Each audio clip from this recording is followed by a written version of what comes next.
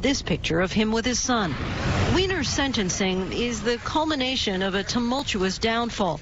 In 2011, he was forced to resign from his congressional seat after he inadvertently tweeted a picture of himself in his underwear, leading him to admit to sexting with multiple women after initially denying his involvement.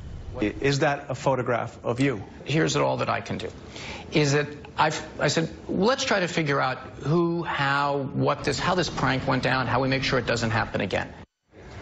Weiner's wife was not present in the courtroom, but did submit a letter to the judge saying in part, I am devastated by Anthony's actions, and I understand he must face their consequences. However, as a mother, I have always done and will do anything I think will help my son be as safe, happy, healthy, and complete as possible. Weiner will have to surrender for jail by November 6th and register as a sex offender. George. Okay, Lindsay, thanks. Let's bring in our legal team, Dan Abrams and Nancy Grace. And Dan, let me begin with you. 21 months, the judge clearly sending a message here. Right, and this is the low end of the federal sentencing guidelines, which remember are just a recommendation. They're not binding. Here's what Weiner had going for him. He pled guilty. He didn't try and meet with this girl. Uh, there was no child porn found on his computer.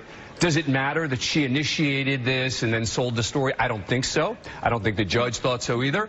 But the bottom line is, while this is the bottom end of the federal sentencing guidelines, I think this is still a very tough sentence considering the facts here. I think if he hadn't been Anthony Weiner, he'd end up with a lesser sentence. Nancy?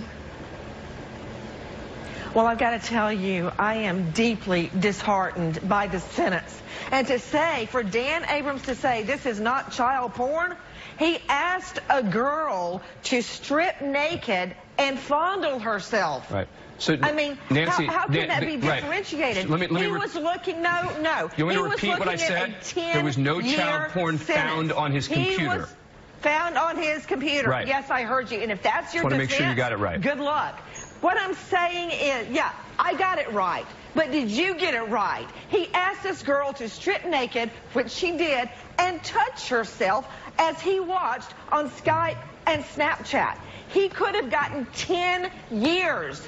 He got a couple of months.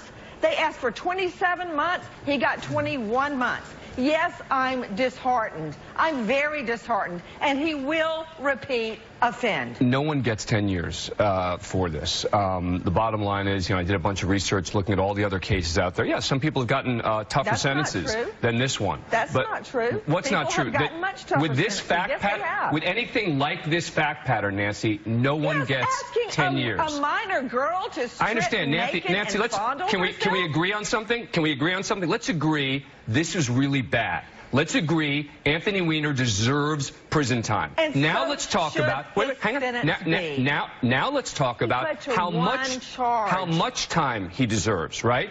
And does does it matter to you pled guilty? Okay. Does he get any credit for that?